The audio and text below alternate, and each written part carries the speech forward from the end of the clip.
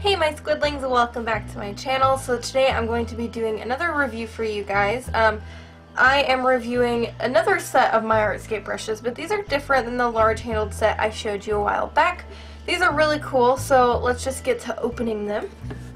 So they come in a nice box and it has the My Artscape logo on it. And then you open it up and you see this. You have a little brochure that tells you you know, thank you, and they give you tips on how to use your brushes. Um, you can give a product review if you bought them, tips on brush cleaning in general, um, and they're just really awesome. And then they always want to work with you if you have any problems. They're a super, super nice company, and, um, and I'm pretty sure they have guarantees as well. Um, like if you have a problem or whatever, there's like a year guarantee as far as I know. Alright, so then there is the case here, and as far as I can tell, at least looking on their Amazon store right now, they only have purple and black available, but I do believe maybe they're just sold out of other colors, because I'm pretty sure they had a pink. I could be wrong, though.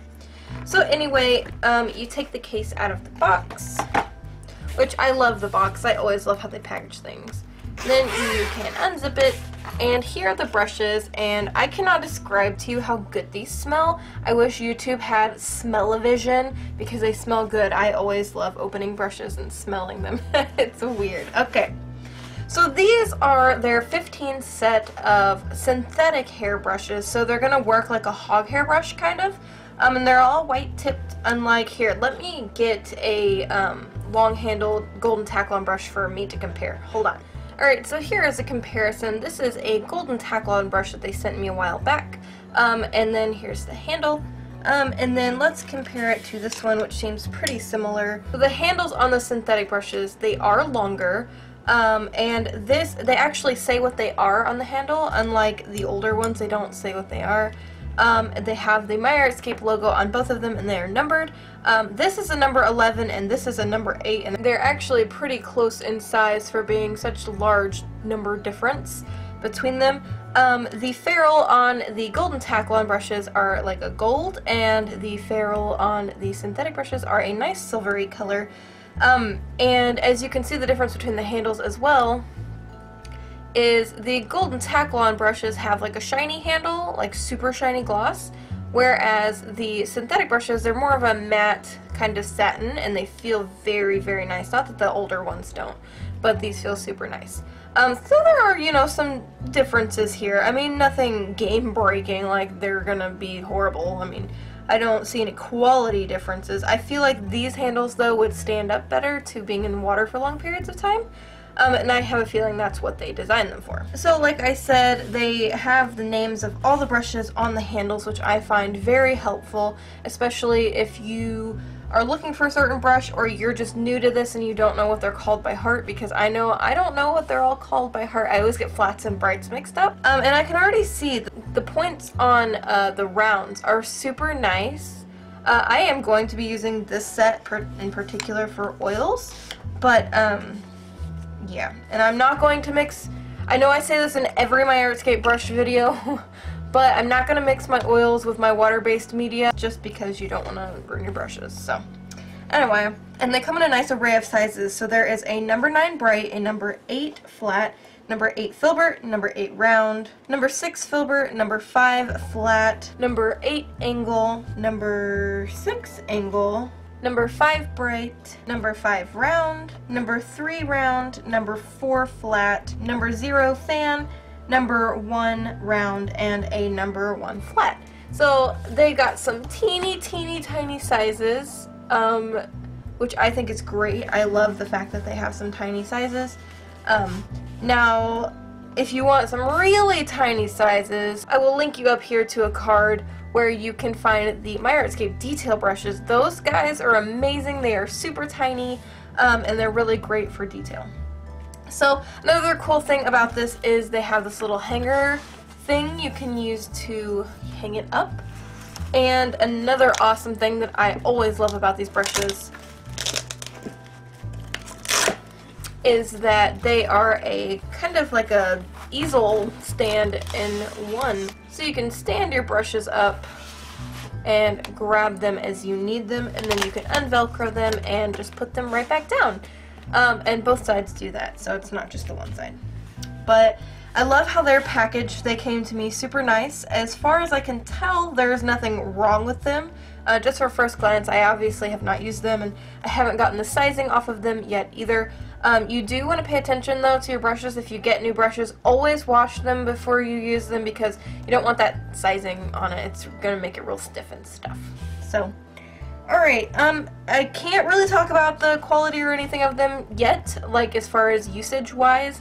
They say that they have interlocked hair which retains shape for precise stroke control, so that's one thing we'll be testing. They say it is anti-shedding, so we'll test that as well. Ultra durable, they say it lasts longer than bristle. I have some bristle brushes, so I'll kind of do, maybe not on the video, but for myself, I'll do a little comparison and I'll talk about that. It says it doesn't lose strength or shape when wet, so we will test that.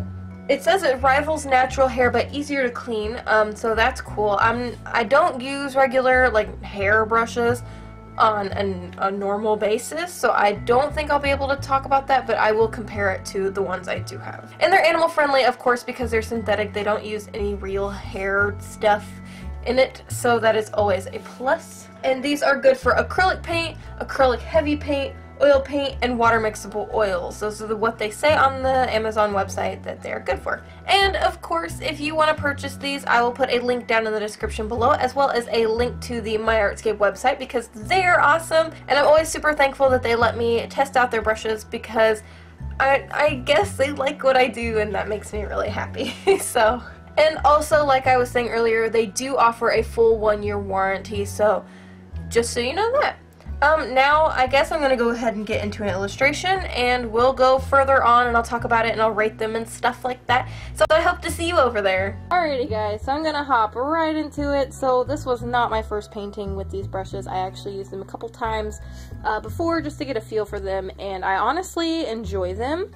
Um, I'm going to jump right into the rating, and I give it a 9.5. The only reason it's not a 10 is because I have very limited experience with, you know, like real bristle brushes and synthetic real bristle brushes synthetic bristle brushes. Anyway um, I have very limited experience with those so I don't want to give it a 10 because like I said I don't have a very good experience so my knowledge is very limited when it comes to that. Um they're amazing though. Holy crap. Um, the bristles they stayed really nice and firm. Um, they didn't, they're not as soft as like, you know, a golden taklon brush, which is really nice for oil painting. There was no shedding, it kept its shape, unlike the real brushes. I told you guys that I was going to kind of test them in my own time with my brushes that are real bristles, um, like real hair. Uh, and the real bristle brushes that I have, they don't keep their shape very easily. I don't know why, maybe I just have a bad brand, but it, it was, yeah, they fray out. These ones, on the other hand, you know, they are, um, they're pretty shapely. They have a really nice variety in shapes and sizes. I do enjoy the, uh, the sizes they have. Now, the only con I can think of that's not really a con is that just, they don't have smaller brushes, but they could always remedy that by making, like, um, mini brushes of this particular, like, brush type, like the hair type. Um, so maybe they'll do that. That would be really awesome.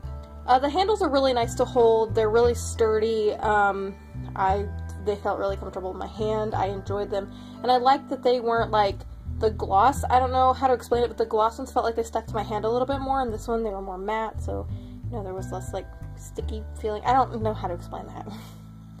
uh, they seemed to hold a nice amount of paint, so that was always a good thing. And I honestly prefer them to the real hair brushes. Um, they're really nice and they're really easy to clean. You don't have to worry about like the real hair part of it. I don't know. I just I prefer these. I really like them. So anyway, uh, I'm going to talk about the painting now since uh, we're more than halfway through the painting. Um, so I had this sketch in my sketchbook a long time ago of just like a doll. And before I wasn't really trying to get in backgrounds, but now I am, so I decided to do her as like a living doll in a dollhouse, and she looks really creepy. Um, but I like how she turned out. I actually ended up lining her in black. Uh, you'll see that in the end picture or whatever. And, you know, I think it's okay. I kind of wish I had left it without lining it, but I didn't, and I can't take it back now. So, anyway, yeah. I don't know. I love working in oils, though. That's really nice just to you know, sit back and paint and then take a break and paint some more. And the only thing I hate is like the terp smell because like I die every time. it's pretty freaking intense. But I don't know. I had a really great experience with these brushes. They're really nice. Um, like I said though, I don't have a huge experience with them. Just, you know, I'm just a small little artist who's not very experienced with things. But, you know, this was my experience and I really enjoyed them. Um, and if you're into oil painting and you need some brushes, I feel like you would too. But I'm not trying to sell it to you. You don't have to like them. You don't have to get them. I just want to show you what I like and all that stuff. So anyway, I really hope you guys liked the video and the picture. If you did, don't forget to thumbs up the video. And don't forget, if you haven't already, subscribe to join our cute little squid army and to keep updated with my videos. And until next time, guys, toodaloo!